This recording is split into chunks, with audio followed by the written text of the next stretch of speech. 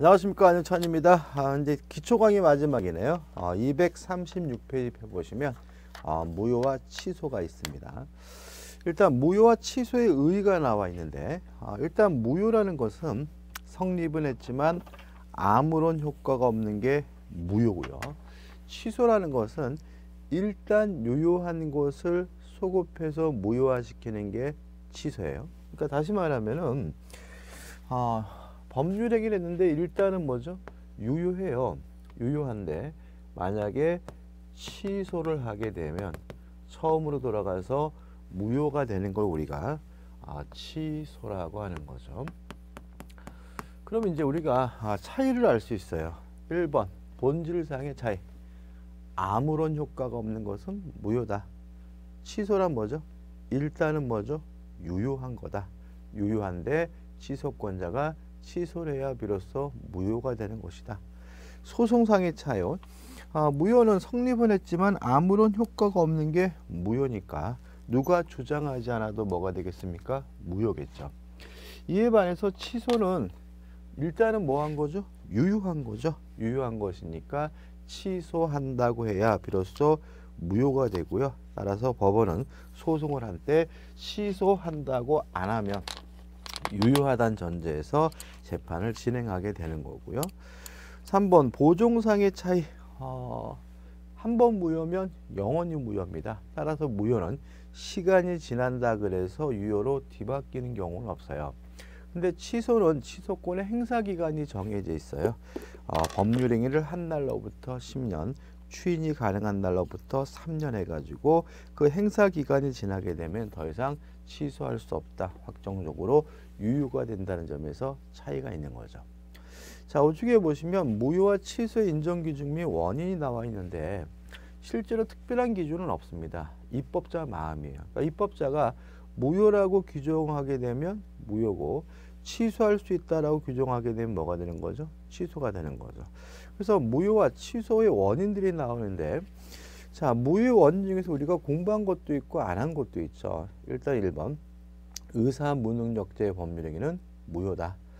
그 다음에 2번, 3번, 4번에 쭉 나오잖아요. 그죠? 그러니까 우리가 이런 것들 하나하나 자세히 배울 거니까 이거를 막 외우려고 하지 마시고요. 저절로 외우시되 하도 반복하게 되니까. 그 다음에 취소의 원인은 총 네 가지가 있네요. 제한 능력자의 법률행위, 차고, 사기에 의한 의사표시, 차고에 의한 의사표시, 사기 강박에 의한 의사표시 네 가지 사유가 취소의 원인이 되는 거죠. 자, 238페이지 보시면 이제 무효에 대한 본격적인 내용이에요. 자, 무효의 무효란 뭐냐? 성립은 했지만 아무런 효과가 없는 게 무효예요. 자, 그럼 생각해 보자고요. 자, 법률 행위를 했는데 무효가 됐다는 말은 성립은 했지만 아무런 효과가 없는 것이니까 이행하기 전이라면 뭐 할 필요 없는 거죠? 이행할 필요가 없는 거고요. 이행할 필요가 없다라는 말은 이행하지 않아도 채무 불이행 등의 책임을 부담하지 않는다는 거죠. 그래서 여기서 좀 조심할 것은 우리가 항상 조심할 것은 모든 책임은 유효함을 전제로 하는 거예요. 무효면 아무런 효과가 없으면 이행할 필요가 없고 이행하지 않아도 뭐 하지 않는 거죠? 책임지지 않는 거죠. 자, 책임은 무엇을요? 유효함을 전제로 하는 거다. 꼭 기억해 두셔야 되고 어차피 우리가 공부하다 보면 손해배상 책임을 물을 수 있느냐 어떤 책임을 물을 수 있느냐 이거를 반드시 판단해야 되는 경우가 있게 되는데 가장 기본적인 것은 그 행위 법률행위 자체가 유효해야 책임이 발생하게 되고요 어, 책임이 발생하게 되고 무효면 책임이 발생하지 않는다는 거 꼭 기억해 두셔야 되겠죠 그래서 우리가 어, 타인 소유물의 매매는 유효해요. 그 남의 물건을 팔아먹는 행위가 유효라는 거죠. 그럼 우리 수험생분들이 자꾸 아, 지 것도 아닌데 남의 물건을 팔아먹어도 되는구나. 이게 아니라는 거죠. 되느냐 안 되느냐 문제가 아닌 거예요. 자, 만약에 타인 소유물의 매매가 무효라면 이행할 필요가 없고 이행하지 않더라도 아무런 책임을 지지 않는다는 이상한 논리가 발생하거든요. 따라서 타인 소유물의 매매는 유효하니까 책임을 져야 되는 거고 책임을 못 진다라면 이행하지 못한다면 책임을 부담해야 된다는 점에서 유효란 얘기지 남의 물건을 팔아먹을 수 있다는 얘기는 아니에요. 그래서 무효냐 유효를 판단할 때 가장 조심할 것은 해도 되느냐 하면 안 되느냐 이렇게 가지고 판단하면 안 되고요. 무효란 아무런 효과가 없는 것이기 때문에 이행 전이면 이행할 필요가 없고 이행하지 않아도 책임지지 않는다. 따라서 책임지지 않는 것은 무효고요. 책임을 져야 되는 것은 유효다. 이렇게 접근하시는 것이 좋습니다. 자, 근데도 불구하고 이행을 했어요. 이행을 했다면 원칙적으로 부당이득으로서 반환을 해줘야 되는 거죠. 자, 부당이득이 뭐였죠? 저번 시간에 했던 것 같은데요. 원인 없는 이득이잖아요. 다시 말하면 이행할 필요도 없는데도 불구하고 이행했다면 그것을 받은 사람은 원인 없이 이득을 취득한 것이니까 부당이득으로서 반환을 해줘야 되고요. 다만 무효의 원인이 만약에 반사회적 법률행위, 반사회적 법률행위라는 이유로 무효가 된다면 그때는 불법 원인 급여이기 때문에 반환할 필요가 없다라는 것까지 기억해 두시면 됩니다. 우리가 이제 반사회적 법률에 우리가 나중에 공부하겠죠, 그죠? 어, 어, 자 이런 얘기입니다. 자 만약에 예를 들어 가지고 어, 첫 계약을 하고 아파트를 넘겨줬어요.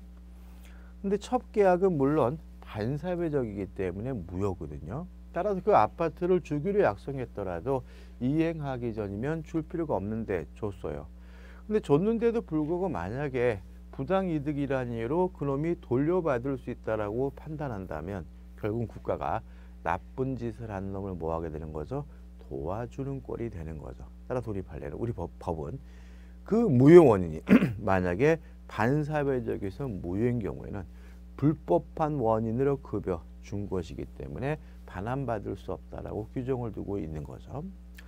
그 다음에 2번 제3자 무효 주장이 나오는데 아, 무효는 원칙적으로 절대적 무효입니다. 다시 말하면 모든 사람에게 다 무효인 거죠. 따라서 제3자가 선이라 하더라도 원칙적으로 보호되지 않고요. 세 번째 이중의 문제라는 것은 무효와 취소 사유가 동시에 존재하는 경우가 있어요. 기억나시나요, 여러분들? 자, 갑이라는 사람이 있는데 다섯 살 먹은 꼬마예요. 다섯 살 먹은 꼬마인 갑이 을과 만나서 매매 계약을 했어요. 그러면 어, 다섯 살 먹었으니까 당연히 19세 미만이죠. 미성년자죠.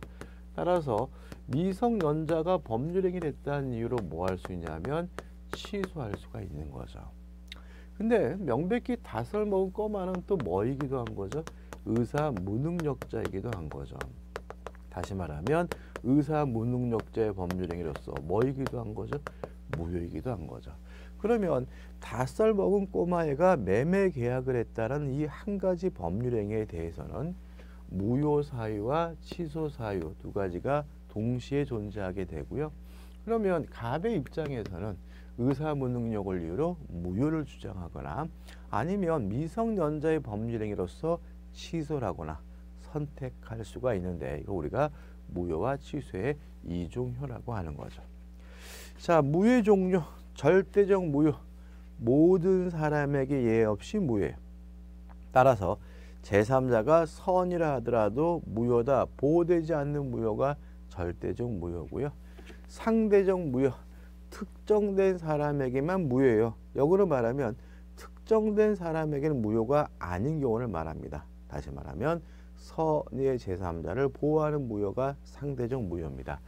자, 무효는 원칙적으로 절대적 무효이기 때문에 원칙적으로 제3자는 선이라 하더라도 보호하지 않습니다.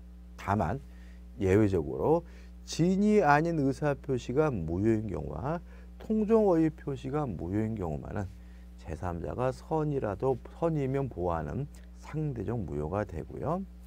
2번 당연 무효, 재판상 무효. 누가 주장하지 않아도 당연히 무효인 것은 당연 무효고요. 재판을 통해서 주장해야 하지만 무효가 되는 것은 재판상 무효입니다. 근데 교재에 재판상 무효의 예로서 회사 설립 이렇게 쭉 나오잖아요. 근데 회사는 상법 얘기라고 말씀드렸죠. 다시 말하면 민법에서는 재판상 무효는 없다. 따라서 무효란 원칙적으로 당연 무효이기 때문에 누가 주장하지 않아도 뭐가 돼요? 무효가 됨을 주의하시기 바랍니다. 3번 전부 무효, 일부 무효에서 137조가 나오죠. 법조문을 좀 읽어볼게요. 법률행위의 일부분이 무효인 때는 그 전부를 무효한다. 이게 원칙입니다. 따라서 일부가 무효면 전부가 무효인 것이 원칙인 거죠. 예를 들어 볼까요? 자, 옷을 샀습니다. 옷을 음, 상의와 바지, 하의 이렇게 샀는데 어, 요 상의에 대한 매매 계약이 무효임이 밝혀졌어요. 그러면 일부가 무효면 전부가 무효인 것이 원칙이니까 바지 매매까지 쌍 무효가 되는 거다. 따라서 상의, 하의 다 한꺼번에 돌려주면서 내돈 낸나라 부당이득 반환을 청구할 수가 있다는 거죠. 이해되시나요? 자, 그럼 이런 거죠. 자, 땅을 두 필지를 샀습니다. A 토지와 B 토지 두 필지를 샀는데 A 토지의 매매가 무효예요. 그러면 일부가 무효면 전부가 무효인 것이 원칙이니까 B 토지 매매 계약까지상 무효가 되는 것이 원칙이다. 또 아니면 토지와 건물을 함께 샀어요. 토지와 건물을 함께 샀는데 토지 매매가 무효면 일부가 무효면 전부가 무효인 것이 원칙이니까 뭐까지요? 건물 거래까지 싹 무효가 된다. 이것이 뭐죠? 원칙인 거예요. 다만 예외가 있어요. 계속 보시면 그러나 그 무효 부분이 없더라도 법률 행위를 하였을 것이라고 인정될 때는 나머지 부분은 무효가 되지 않는다. 다시 말하면 무효 부분이 없어요. 다시 말하면 요 상의가 없더라도 바지만 살 거라는 가상적 의사가 인정되는 경우에는 상해 매매만 무효고 바지 매매는 뭐한 거예요? 유효한 거죠. 자, A 토지와 B 토지 무효인 부분이 없어요. A 토지가 없다면 B 토지만이라도 살 거라는 가상적 의사가 인정되는 경우에는 A 토지 매매만 무효고 B 토지 매매는 뭐한 거죠? 유효한 거죠. 자, 토지와 건물입니다. 토지가 없어요. 토지가 없더라도 건물이라도 살 것이라는 가상적 의사가 인정되는 경우에는 토지 거래만 무효인 것이고 건물 거래는 뭐가 되는 거죠? 유효가 되는 거죠. 자, 이렇게 되는 거죠. 자, 일부가 무효면 전부가 무효인 것이 원칙입니다. 다만 그 무효 부분이 없더라도 법률 행위를 하였을 것이라는 가상적 의사가 인정되는 경우에는 예외적으로 일부만 무효가 되는 경우가 있다. 이렇게 큰 틀을 기억하시면 되고 240페이지 보시면 일부 무효 요건이 나오는데 뭐 특별한 건 없습니다.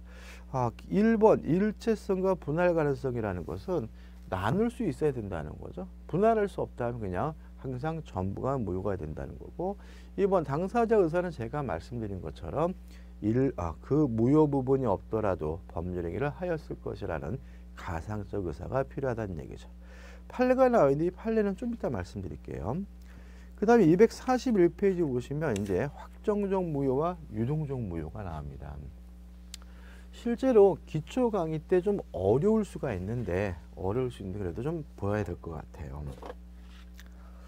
자, 무효는요. 한 번 무효면 영원히 무효입니다. 이걸 우리가 확정적 무효라고 해요.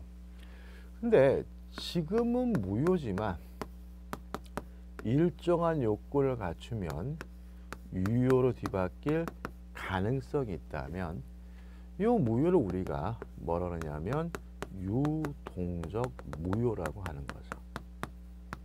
그죠? 그러면 유동적 유효도 뭔지 아시겠죠? 유동적 유효는 뭐겠습니다. 지금은 유효지만 무효로 뒤바뀔 가능성이 있으면 유동적 유효. 지금은 무효지만 무, 무효지만 유효로 뒤바뀔 가능성이 있으면 뭐가 돼요? 유동적 무효인 거죠. 자, 유동적 무효에 대해서 여러 가지가 있는데 아, 여기서 우리가 다루는 것은 토지거래 허가 구역이죠. 토지거래 허가 구역 내에서 거래를 하게 되면 유동적 무효입니다. 자, 왜 그런지 생각해 볼게요. 자, 이 부분은 뭐 부동산 가격이 올랐다, 아파트 가격이 문제다 이런 투기가 사회적 이슈가 됐을 때는 시험에 잘 나오는 부분이고요. 아, 그렇기 때문에 어, 2022년에도 시험에 나오겠죠. 자, 이런 문제입니다. 자, 토지를 거래할 때 허가를 받아야 되는 지역이 토지거래 허가 지역이고요.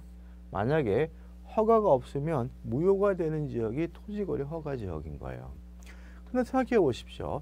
토지를 거래할 때 허가 받는다는 것은 논리 모순입니다. 자, 왜냐하면 누가 살지도 결정이 안 됐고 그 토지에 대한 매매 가격도 결정이 안 됐는데 미리 허가부터 받는다 이런 것들은 실질적으로 존재할 수 없는 거죠. 일단 먼저 매매 계약을 하고 나중에 뭘 받는 거죠? 허가를 받는 거죠. 그러면 매매 계약할 때는 허가가 없었기 때문에 무효인데 나중에 허가를 받으면 뭐로 바뀝니까? 유효로 바뀌게 되니까 토지 거래 허가 구역 내에서 거래하게 되면 그 거래는 뭐가 되는 거죠? 유동종 무효가 되는 거죠. 이해되시죠, 여러분들? 자, 법적 근, 어, 법적 취급이 나와 있는데 일단 원칙부터 생각해 보죠. 원칙 무효다. 자, 유동종 무효는 허가를 받으면 유효로 뒤바뀔 가능성이 있다는 점에서는 다른 무효와 차이점은 있지만 일단은 무효라는 점에서는 다른 무효와 똑같은 거예요. 따라서 다른 무효와 마찬가지로 유동종 무효도 무효니까 이행하기 전이면 이행할 필요가 없는 거고요. 이행하지 않는다라도 채무불이행이 아닌 거죠. 따라서 채무불이행 책임을 물을 수가 없는 거죠. 따라서 유동종 무효 상태에서는 상대방이 이행하지 않는다는 이유로 채무불이행을 이유로 계약을 해지하거나 손해배상을 청구할 수가 없는 것이 뭐예요? 원칙인 거죠. 다만 넘기시면 판례는 나중에 보는 겁니다. 예외적으로 유동종 무효의 경우에는 유효성이 인정되는 것들이 있다는 거죠. 첫째, 계약금 계약은 유효합니다.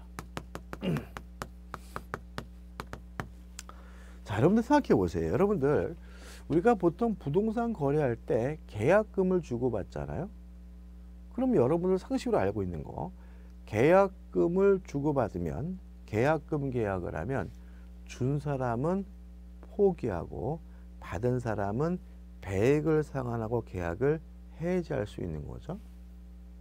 근데 만약에 계약금을 주고받지 않았다면 계약금을 이유로 계약을 뭐 할 수 없어요? 해지할 수 없는 거죠. 그래서 계약금의 가장 중요한 성질은 뭐냐 하면 계약금 계약을 하게 되면 계약금을 주고받게 되면 계약금을 이유로 해지하는 것이 가능해지는 거거든요. 잘 생각해보자. 자, 유동종 무효라 하더라도 계약금 계약은 뭐합니까? 유효합니다. 따라서 지급한 계약금은 부당이득으로 반환해 달라고 청구할 수 없고요. 또 계약금 계약이 유효하니까 계약금으로서 효과 준 사람은 포기하고 받은 사람은 배액을 상환하고 계약을 뭐 할 수 있는 거죠? 해지할 수가 있는 거죠. 두 번째, 어, 토지 거래 허가 절차에 관한 협력 의무는 존재한다는 것이 우리 판례 입장입니다. 따라서 일방 당사자가 못하겠다라고 거부한다면 그것을 강제할 수가 있고요. 또 일방 당사자가 거부했다는 이유로 손해가 발생했다면 무엇도요? 손해 배상도 청구할 수가 있고요. 또 협력 의무가 있으니까 협력 의무를 이행하지 않으면 계약을 해지할 수 있느냐 문제에 대해 판례는 이 협력 의무는 주된 채무가 아니라 부수적 채무이기 때문에 협력 의무를 일방이 거부했다는 이유만으로는 계약 자체를 해지할 수는 없다는 것이 우리 판례 입장입니다. 다시 말하면 유동종 무효가 무효라 하더라도 이 사람들은 뭘 받아야 돼요? 토지거래 허가를 받아야 되잖아요. 따라서 쌍방 당사자가 토지거래 허가 절차에 대해서 협력할 의무는 있다는 거죠.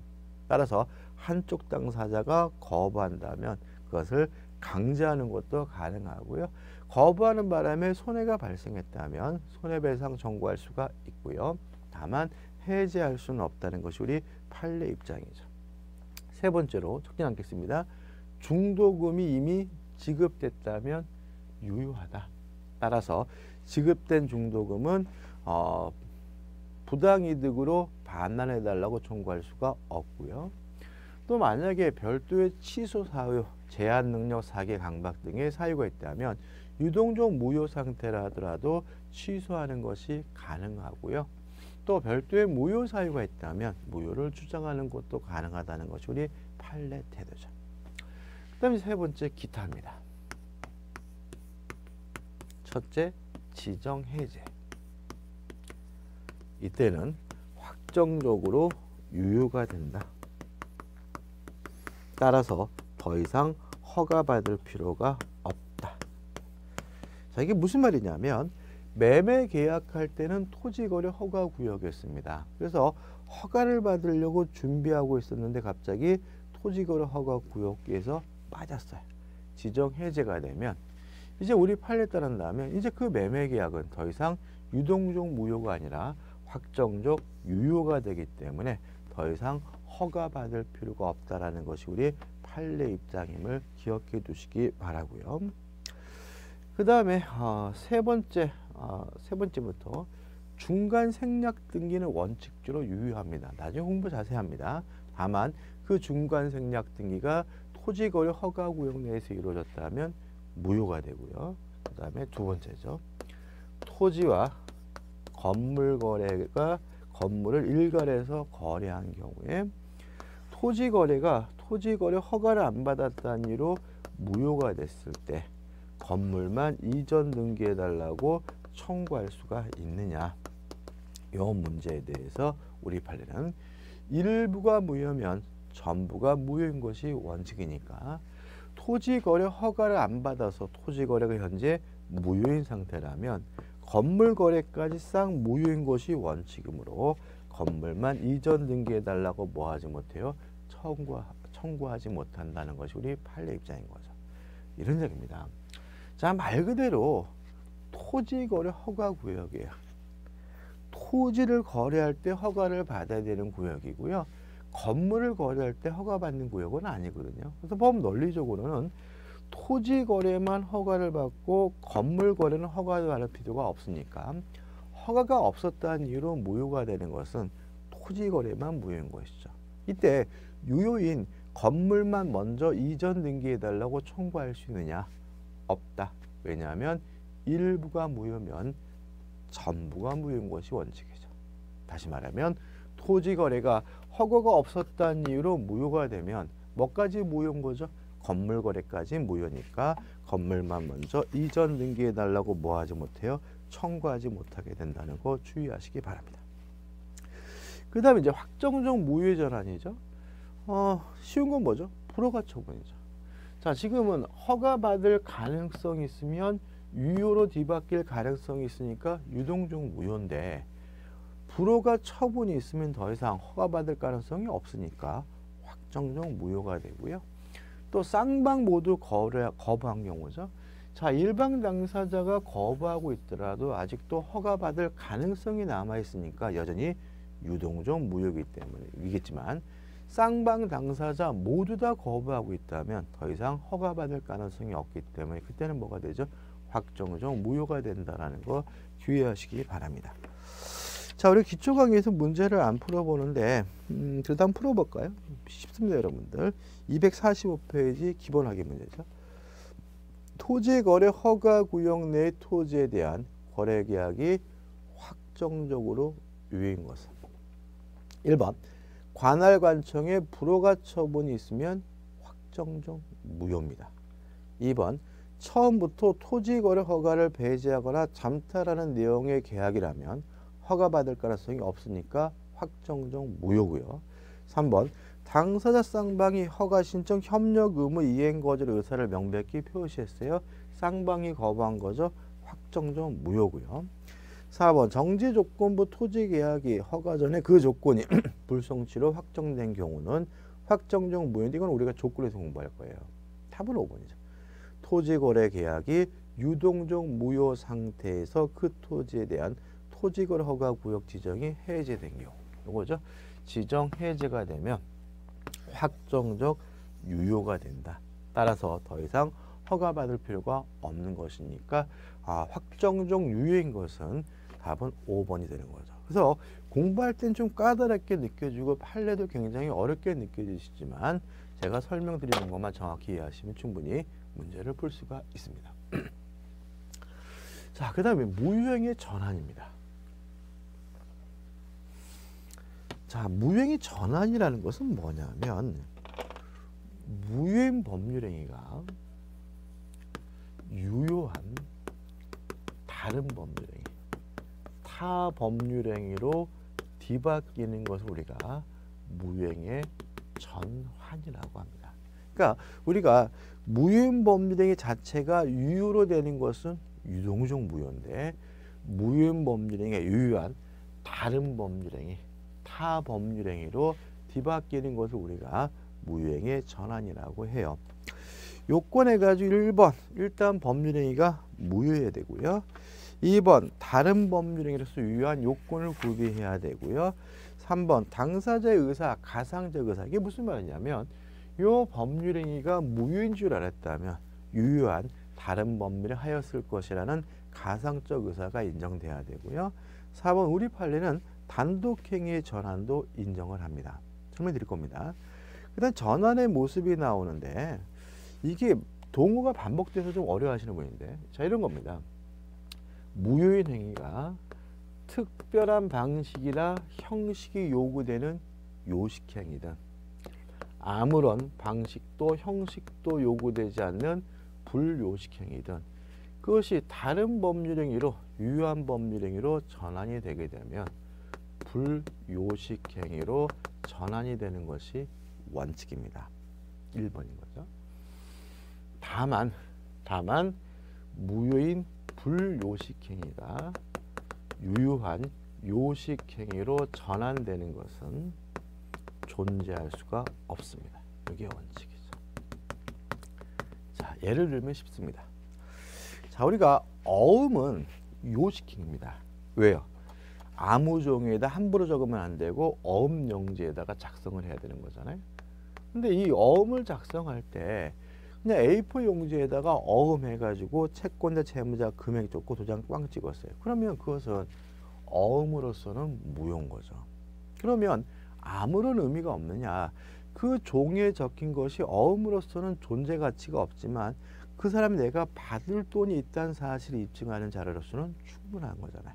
따라서 채권 증서 차용증으로서는 유효한 거죠. 거꾸로는 안 되는 거예요. 자, 차용증을 작성했는데 금액도 명확하지 않고 채권자, 채무자도 명확하지 않아서 차용증으로서 무효인데 그것이 공교롭게도 어음으로 뒤바뀐다 이런 것들은 뭐 할 수 없어요? 존재할 수가 없는 거죠. 따라서 무효인 불요식행위가 유효한 요식행위로 뒤바뀌는 것은 뭐 할 수 없어요? 존재할 수가 없는 겁니다. 그 다음에 무효인 요식행위가 유효한 요식행위로 전환되는 것은 원칙적으로 안 되는데 우리 판례에 몇 가지 예외적으로 허용하는 것이 있어요. 첫째, 타인의 자를 친자로 입적시키면 무효입니다. 물론 가족관계 등록부에 입적, 입적 하는 행위는 아, 요식행인 거죠. 따라서 남의 자식을 친자로 입적시키면 무효인데 그것이 아무런 의미가 없느냐. 아, 양자 입적으로서는 유효한 거죠. 따라 둘다 요식행이기 때문에 무효인 요식행위가 유효한 요식행위로 뒤바뀌는 거죠. 어, 몇년 전에 이런 일이 있었습니다. 그 미혼 모인분이 아이를 가졌는데 그 부부가 있었는데 이 부부가 아이가 없었어요. 그래서 입양 기간을 통해서 그 아이를 입양을 한 거죠. 그래서 그 부부가 입양한 그 아이를 아이를 열심히 키웠어요. 키워가지고 초등학교 3학년이 되는데 생모가 나타나 가지고 내가 네 엄마다 하면서 그 아이를 데려가려고 해요. 자, 뭐가 문제냐면 그 부부가 그 아이는 분명히 타인의 자인데 멀었어요? 친자로 가족관계 등록부에 등록을 했다는 거죠. 우리는 일반적으로 그렇게 하잖아요. 그죠? 무효입니다. 따라서 자기 자식이 아닌데 타인의 자인데 친자를 입적시킨 건 무효니까 무효니까 내가 데려가겠다라고 주장한 것에 대해서 결국은 친자 입적으로서는 무효지만 뭐로서는요? 양자 입적 입양으로서는 뭐요? 유효하기 때문에 그 아이는 생모가 뭐 할 수 없습니까? 데려갈 수가 없다. 이런 의미가 되는 거예요. 이해되시죠 여러분들? 그 다음에 두 번째 혼인의 출생자입니다. 혼인의 출생자를 친자로 입적시키면 무효입니다 다만 인지로서는 유효합니다. 이 혼인의 출생자는 어, 우리나라 드라마에 잘 나오죠. 이런 겁니다. 그러니까 혼인의 출생자, 뭐 옛날 말로 하면 첩의 자식, 바람 피운 난 자식 이런 거잖아요. 자, 갑과 을이 부부입니다. 근데 갑과 을이 부부인데 갑이 어, 병이라는 외간 여자의 사이에서 아이를 낳았어요. 그럼 이 아이는 혼인의 출생자인 거거든요. 근데 이 아이를 가족관계 등록부에 등재하기 위해서 갑을 사이에 부분한 자식으로 입적을 했어요. 혼인의 출생자를 친자로 입적시킨 거죠. 이해되시죠? 근데 이 갑이 보통 이제 드라마 보면 이제 회장님이잖아요, 회장님. 그러니까 이 갑, 이 회장님이 이제 돌아가셨을 때 이 A가 상속을 받을 수가 있느냐, 요 문제인 거예요. 일단 A는 갑을 사인한 자식이 아니기 때문에 혼인 외의 출생자를 친자로 입적시키는 것은 무효입니다. 다만 요 A에게는 뭐가 인정되냐면 상속권이 인정이 되는 거죠. 왜냐하면 갑이 이러한 행위를 것은 뭐인 거죠? 인지, 자신의 자식임을 인정한 거죠. 따라서 갑이 A를 인지, 자신의 자식으로서 인정한 것이기 때문에 갑과 A 간에는 부자 관계가 있고 따라서 A에게는 상속권이 인정된다. 이런 의미에서 혼인의 출생자를 친자로 입적시키면 무효지만 뭐로서요? 인지로서는 유효한 거죠. 그 다음 세 번째로 어, 비밀 증서에 의한 유언입니다. 비밀 증서에 의한 유언이 무효인 경우에 자필 증서에 의한 유언으로 전환될 수 있고요. 이건 다 요식행입니다. 자, 비밀 증서에 의한 유언하면 또 드라마가 떠오르네. 그죠? 그러니까 우리가 보통 회장님이 돌아가시면 가족들 다, 불, 다 불러놓고 누가 나타납니까? 김 변호사 나타나가지고 회장님의 유언장을 공개하겠습니다. 이게 비밀 증서죠. 다시 말하면 유언장을 작성할 때는 그 내용을 뭐라 하는 거죠? 비밀에 붙인다는 거예요. 근데 비밀 증서의 유언이 유효하려면 증인 두 명이 서명 날인 서명하고 도장까지 찍어야 돼. 예를 들어서 그래서 유언장을 읽어봤더니 유언장의 내용이 뭐냐면 내 재산 중에 20억은 개똥이에게 준다가 유언장 내용인데 문제는 증인이 개똥이면 그 유언장은 무효입니다. 왜냐하면 유언장의 내용과 증인은 뭐가요? 이해관계가 있으면 안 되거든요. 근데 만약에 자필로 썼다면 자필 증서한 유언으로서 전환돼서 유효가 된다는 거예요. 왜냐하면 자필로 손으로 썼다면 그때는 증인이 필요가 없기 때문에 그런 거죠. 그래서 비밀 증서한 유언이 요, 요건을 결의했다는 이유로 무효가 되면 뭐로 뒤바뀔 수 있는 거죠? 자필 증서인 유언으로 뒤바뀔 수가 있는 거죠. 자, 여기까지 왔는데 여기서 이제 우리가 뭘 할 수 있냐면 요 여섯 가지가 다 뭐냐면 친족상속법이죠. 가족법상 행위죠. 따라서 우리 판례는 가족법상 법률행위에 대해서 무효행위 전환을 인정하고 있고요. 또 유언은 대표적인 뭐였죠? 상대방 없는 단독행위죠. 단독행위죠. 따라서 우리 판례는 단독행위에 대해서도 무효행위 전환을 인정하고 있다는 거 기억하시면 좋습니다. 자, 이번은 여기까지고요. 어, 다음 시간에 이제 247페이지 무효행위 추인을 보도록 하겠습니다.